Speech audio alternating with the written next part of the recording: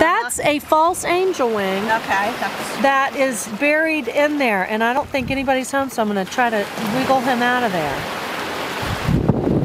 oh, look at See? that. Oh, that is so cool. Nobody, yeah. So he's there's no Uh-huh. animal in there. So look at that. That was that is a false angel wing right there. Isn't that beautiful? And, there's And she found the one. sun. Yeah. Hi, you guys. Did you did you found one too? And tell me what your name is again. Holly. Holly from.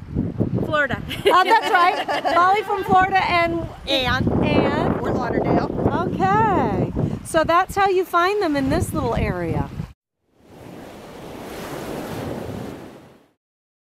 Hey, what's your name? I'm Savannah from Atlanta. Hi, Savannah from Atlanta. We just found this other um, false angel wing. Where is it now? Okay, Savannah, look right here. Let me see.